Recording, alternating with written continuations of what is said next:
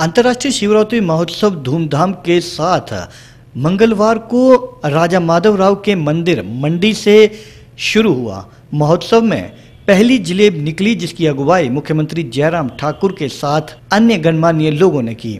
ऐतिहासिक स्थल मैदान में चलने वाले इस अंतर्राष्ट्रीय महोत्सव का विधिवत रूप से शुभारंभ किया गया। पड्डल मैदान में सभा को संबोधित करते हुए मुख्यमंत्री जयराम ठाकुर ने कहा कि मेले और त्यौहार हमारी समृद्ध संस्कृति और परंपराओं के अभिन्न अंग थे और हमारे जीवन में गहराई से मौजूद थे। उन्होंने कहा कि मंडी शिवरात्रि एक बार व्यापार और व्यापार के लिए भी मुख्य आकर्षण का केंद्र रहता है। उन्होंने कहा कि राज्य के लोगों का जीवन स्थानीय देवी देवताओं के इर्द गिर्द घूमता है और वे लोगों के एक प्रमुख अंग बन के रह गए हैं। मुख्यमंत्री ने कहा कि शिवरात्रि मेला देव और मानवों के मिलन का एक बेहतरीन उदाहरण है, जो मानव और देवताओं का पुनर्मिलन है। उन्होंने कहा कि इस मेले के दौरान आयोजित सभी समारोह और समारोहों के दौरान पुरानी परंपरा के अनुसार ही सब किया जाता है। मुख्यमंत्री ने कहा कि राज्य सरकार ने हाल ही में शिवरात्रि मेले को अंतर्राष्ट्रीय स्तर का दर्जा दिया है। आज एक बार फिर से अंतर्राष्ट्रीय शिवरात्रि मेले के शुभारंभ पर हम सब लोग यहाँ पर इकट्ठा हुए हैं। मैं आप सबको अपनी ओर से और पूरे हिमाचल प्रदेश सरकार की ओर से ओर, से इस अवसर पर हार्दिक बधाई और शुभकामनाएँ देता हूँ। जब हम मंडी का शिवरात्रि मेले का ज़िक्र करते हैं स्वाभाविक रूप से बहुत समय पुरानी जो हमारी परंपराएँ, हमारी संस्कृति को मज़बूत करने की दृष्टि से जो हमारे बुज़ुर्गों ने कायम की, देव संस्कृति को स्थापित करने के साथ साथ में ऐसे मेले में ला करके इस संस्कृति को आगे बढ़ाने में जो योगदान दिया, स्वाभाविक रूप से वो सारी बातें आज हमको स्मरण करने का अवसर प्राप्त होता है। शिवरात्रि मंडी में हम वर्षों से मनाते हैं। और ये मेला वर्षों से हमारी संस्कृति को आगे बढ़ाने की दृष्टि से बहुत महत्वपूर्ण भूमिका निभाता है।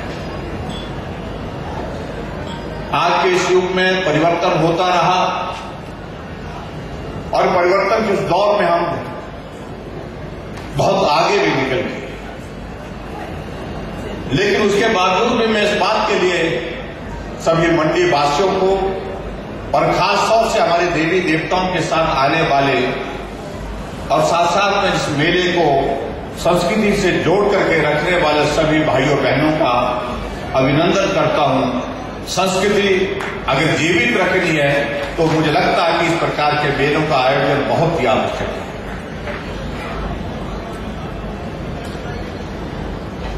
एक वक्त ये मेला हमारे व्यापार का भी बहुत बड़ा एक माध्यम होता था। मंडी के शिवरात्रि के मेले में दूर दूर गाँव गाँव से लोग उठ करके आते थे और अपने आवश्यक सामान जो खरीदना होता था, उनको वो खरीद करके ले जाते थे। आज भी कायम है, लेकिन अब हम इतना अंतर थोड़ा ये ज़रूर महसूस कर रहे हैं क्योंकि लोग जो है वो व्यापार की दृष्टि से अब मेला देखने के लिए कम आते हैं।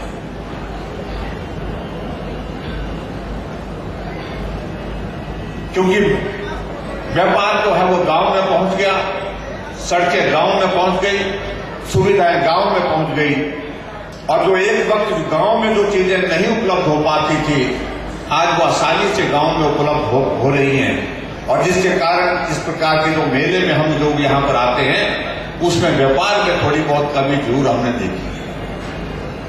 लेकिन उसके बावजूद भी मुझे इस बात की खुशी है, व्यापार कम हो या ज़्यादा वो बहुत महत्व का विषय है। लेकिन उसके बावजूद महत्व का विषय हमारे लिए ये है, ये मेला हमारी संस्कृति को संजो करके रखता है।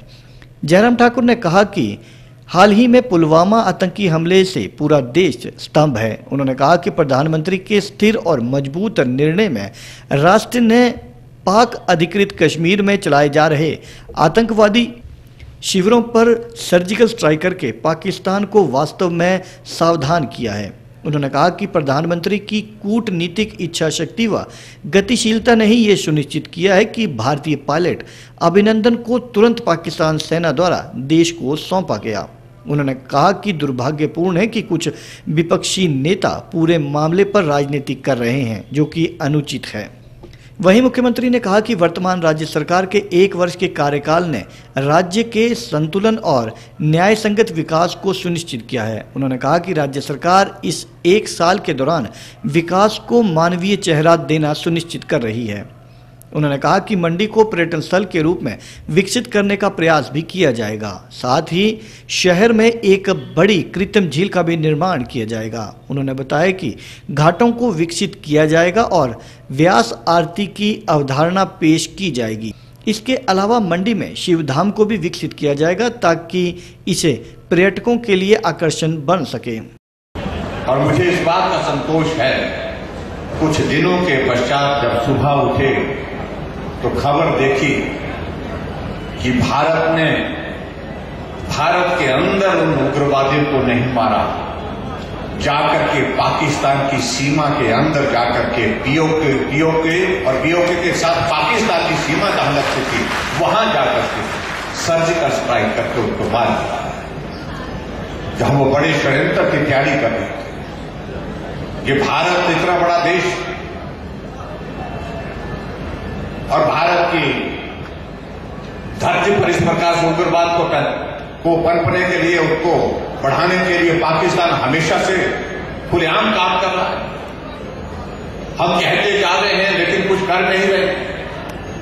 और ऐसी परिस्थिति में मुझे लगता है कि हमारा नैतिक दायित्व तो है कि आज इस अवसर पर हमको अपने देश के यशस्वी प्रधानमंत्री नरेंद्र भाई मोदी जी का अभिनंदन करना चाहिए, धन्यवाद करना चाहिए। अब भारत में ऐसा ही सपूत इस देश को दिया। जिसने एक बार नहीं, अगर उड़ी में अगर पाकिस्तान के लोगों ने आकर जो गुरुवादियों ने हमारे सैनिकों को नींद में, सोए हुए नींद में जो है वो उनको शहीद कर दिया, उन पर गोलियाँ बरसा दी। उसका जवाब भी पीओके की पीओके की धरती में जहाँ पर वो उग्रवादी कैंप में थे, वहाँ पर उनको, उन वहाँ पर सर्जिकल स्ट्राइक करके जो है, उनको जो जिस प्रकार से उनको जवाब देना था, वो जवाब दिया। और हमें इस बात का संतोष है कि दूसरा जवाब जिस भाषा में देने की आवश्यकता थी, वो भी किया गया। हमारा वीर कमांडर अभिनंदन पाकिस्तान की धरती पर पाकिस्तान का जहाज़ गिराने के बाद वहाँ पर गिर गया था। पाकिस्तानियों ने घेरा, बंदी बनाया।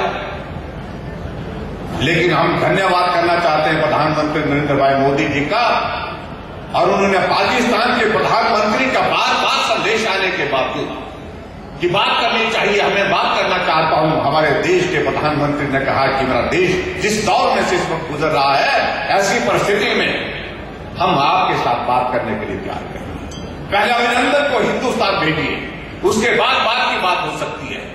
लेकिन पाकिस्तान के ऊपर इस प्रकार से अंतर्राष्ट्रीय स्तर का दबाव डाला और कहा कि अगर अभिनंदन वापिस नहीं किया गया तो पाकिस्तान खामियाजा भुगतने के लिए तैयार है।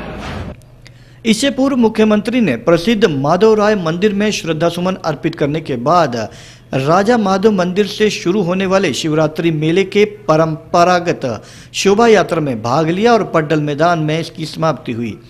मुख्य देवता माधव राय ने स्थानीय देवताओं के जुलूस का नेतृत्व भी किया। वहीं जुलूस के दौरान स्थानीय लोगों ने अपने रंग बिरंगे परिधन में सजे धजे जुलूस को निकाला और स्थानीय देवताओं की पालकी के साथ भी रवाना हुए और पड्डल मैदान तक मार्च किया। जिला के लगभग सभी कोनों से 216 देवता पारंपरिक शोभा यात्रा में भाग लेने पहुँचे थे।